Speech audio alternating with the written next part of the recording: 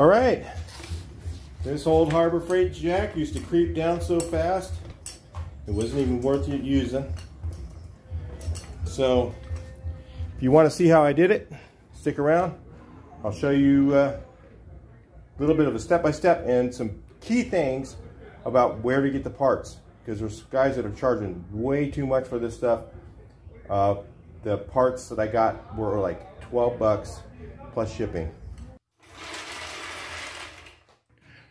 All right, so the question is, can we rebuild this? You know, you guys might say, hey, you know, Harbor Freight Jacks are only 59 bucks. And, you know, just gonna get another one. I don't know, when's the last time you went to Harbor Freight? First of all, they don't have any coupons anymore. They used to have coupons. And this jack, I remember I paid 59 bucks for this jack. But now a new one, and it rolls fine, it works good. Only thing it does is creep down, so the seals have gotten bad inside of it. Um, it a new one is like over a hundred dollars, or you know, close to 150 with tax and everything, or something like that. So I figure, you know, why not? Let's save a little bit of the earth and rebuild it. See if we can do it. So I got one of these kits here from eBay. This is Jacko. Um, this one's supposed to do all the three ton with the double pump. So hopefully it's right. I didn't get a chance to get the item. You can get the number off the jack somewhere. Still has one, I don't know. Kind of hot day today, so I thought, well, be a good day to do this. Thing I'm going to do first is take it off, separate the jack portion. There's this portion right here is the jack, and this is all the hardware. And all it is is basically a hydraulic jack that's designed to be sideways that pushes this lever, and that lever pushes the jack, the whole thing up in the air. So it looks like there's a cotter key right here. So uh, I could get that from the other side by propping up the, the jack. And then there's four bolts. You got one, two, three, four. It looks like that probably will take that out. Let me take those off. I'll bring it right back in.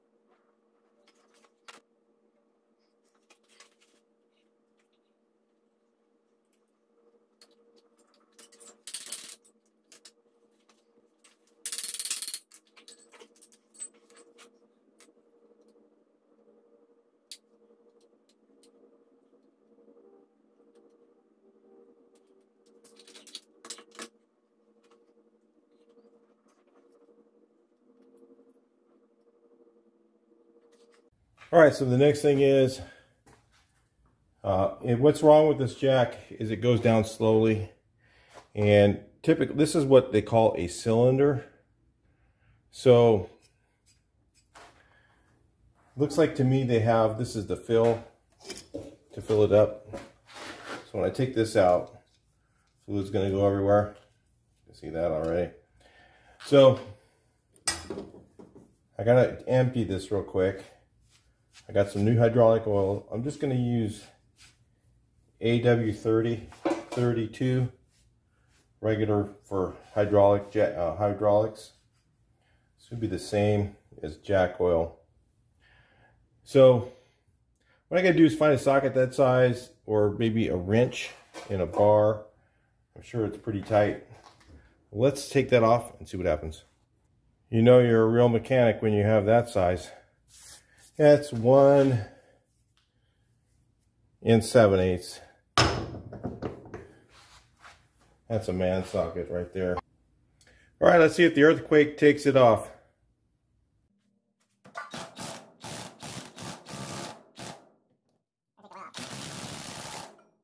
All right, so now that the oil's drained out of there, which I was going to do and I forgot, let's take this thing off and bring you back in.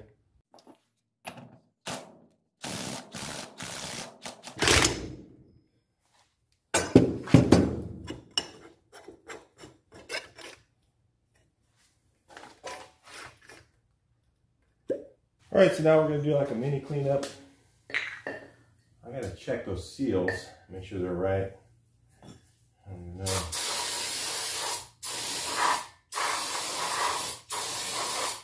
It's one of the reasons I was apprehensive to rebuild this. I wasn't sure if I could get the right stuff. I don't think these jacks have numbers on them, so let's hope. Right? We'll clean that.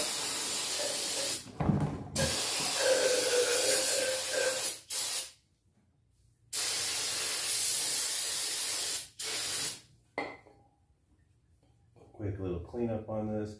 Now this has a, there's a seal to the outside here. It wasn't leaking there. So it's a decision. I could just go ahead and do this one. The seal was leaking is right here. Because what it does is this goes inside here, and as you build up pressure here, it pushes this seal out, and what was happening is it's going down really slowly. So, just from doing hydraulic repair, I've done a little bit of it. Uh, it generally is this main seal right here which doesn't look too hard to replace. Let's see if it's in the kit.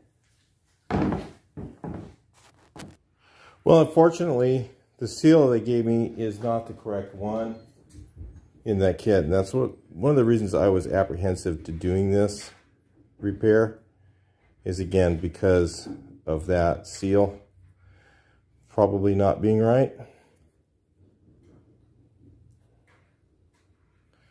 So if you can see here, this one's larger. It's a plastic seal, this one is, and then it has an O-ring that's next to it. It kind of jams in there. And what that does is that O-ring holds this seal outward so it can seal when it goes in and out. But it's not the right one. So there's a couple options. Uh, where I live, there's a place called Burnell Hydraulics. Know, I can go over there probably and just buy this seal and then just replace just this one and the jack will probably work fine. So let me see if I can, I, there's another seal I need for something else. I have another hydraulic jack that's bad and I wanted to replace it. So maybe see if I can get that one together, head over to Burnell and see if I can get the right one. All right, so I found a seal kit for this.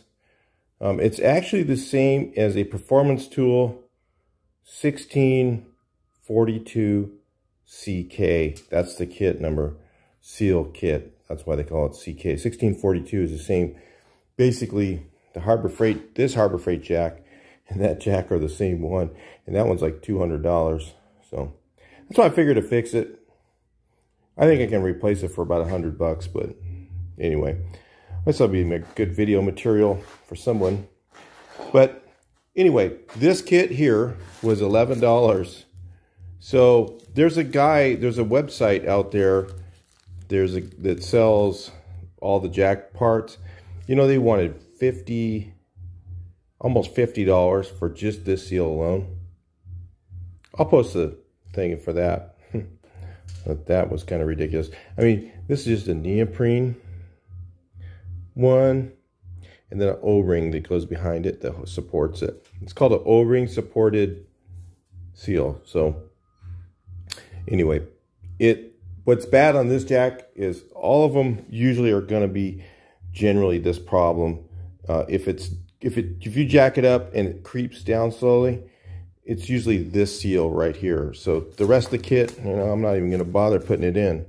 I don't even know if it's, it might be all the same parts. I, I imagine it is. If this seal is the same, I bet a lot of the other ones are. I'm not going to chance it. There's no reason for me to take that rest of it apart. It usually doesn't go bad. Usually this seal is the only thing that usually goes bad on jacks. So I'm going to measure the cylinder so you guys can see what I came up with.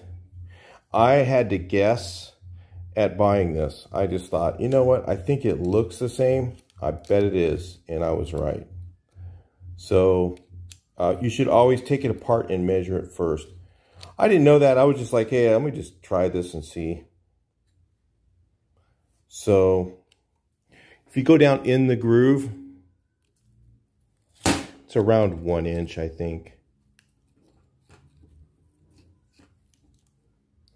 And I'm going to give you the millimeters. It's 25.61 or 25, 25 millimeter. Is that point?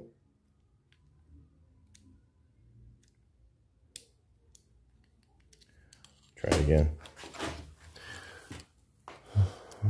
20, it was like 25 or 26 millimeters when I figured, and that's about what that is.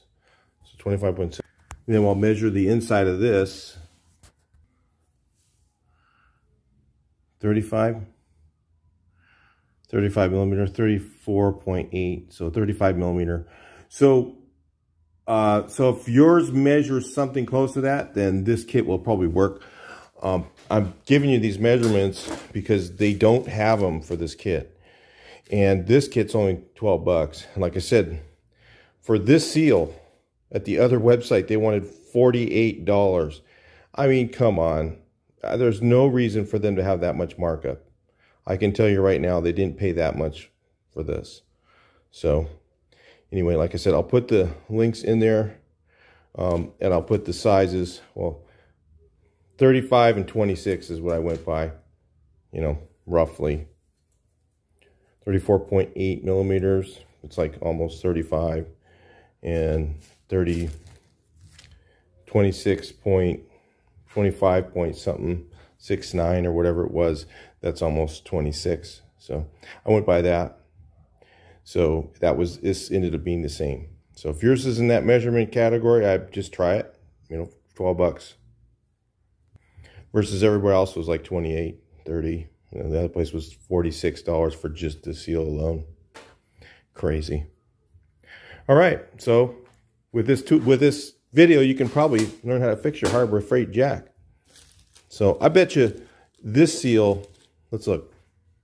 So if i wanted to take this apart which this this seal on a hydraulic unit is like a dust seal here's the o-ring look at it fits so I imagine I could take the whole thing apart and I bet you this whole kit is exactly the same.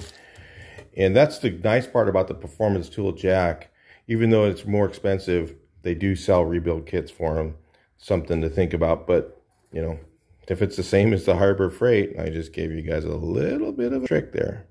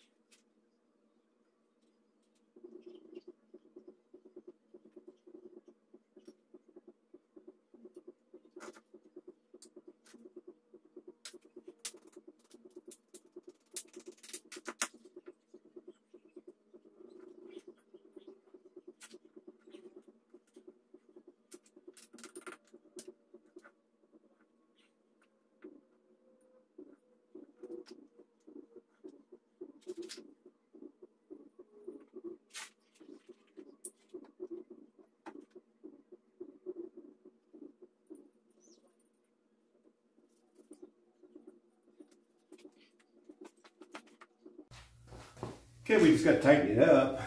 I double filled it make sure it was full. It's a little bit hard to do. You can take that top panel off and do it. And then I'm just going to drop this thing down in there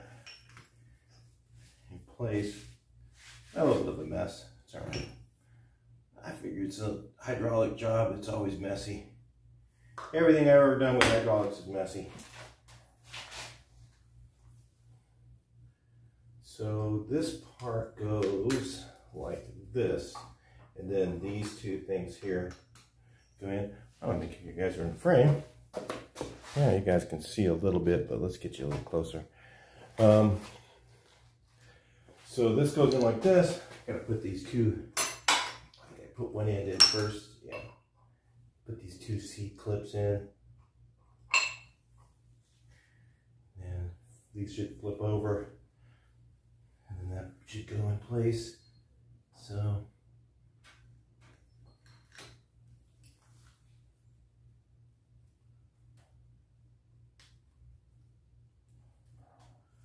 That was easy.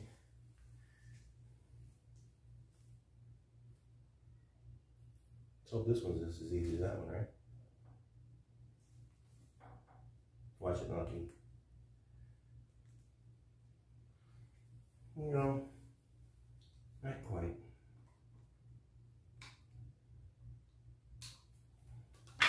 Not much harder. Pretty easy. And then flip these things over. Oh, actually, I need that thing to be on the other side of there first. I gotta take the bag off. So I gotta put the put this part in there first, and then I can put on these clips again. So I gotta take it back off.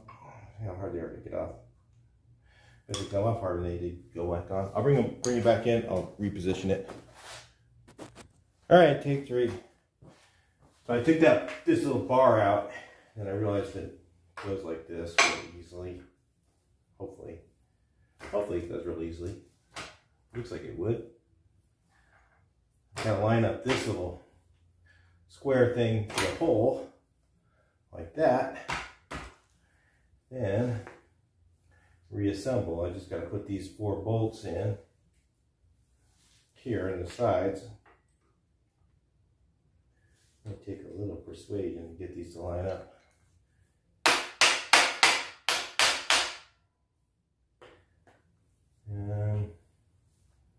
Guessing kind of need to maneuver things a little bit.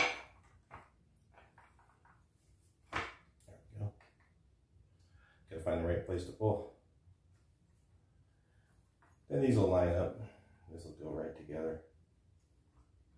Got one in. Should be able to bring in all four. Put this bar back in place like this.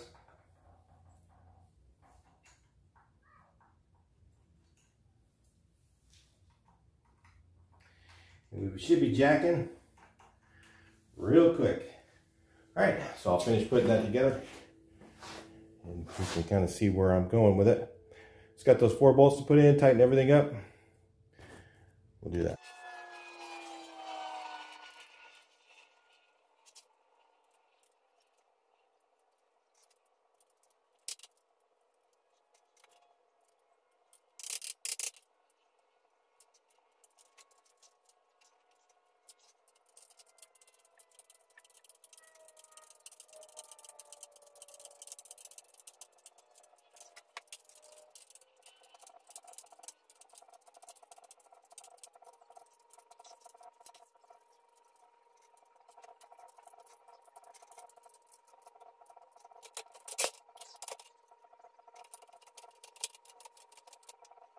Just in case you're wondering if it worked, works perfectly. It doesn't, it used to just creep down really quickly. Now it just stays up. So it's pretty nice. I got a jack, you know, that was 20 $20 for parts to fix that. So, and really, you could probably do it in less than an hour. Watch after watching the video. Uh, it, if you saw how I did it, it's a lot easier. I had no idea. I've never done it before, so since you've seen me do it, you can probably do it in a lot less time. All right, so it's all done. Talk to you next video. Please like, share, and subscribe. See your comments and make a couple comments. It helps a lot, and maybe like some other ones. Uh, hopefully, this video will do really well. Um, some of these I was watching some of the other videos and they weren't that great, and I thought, well, hopefully mine's better. I don't know. Hopefully, yeah, hopefully it is. I will see it after I edit it. Um, so I'll talk to you next video. Please like, share, and subscribe. See some more car work done. See some more stuff get fixed. Talk to you next one.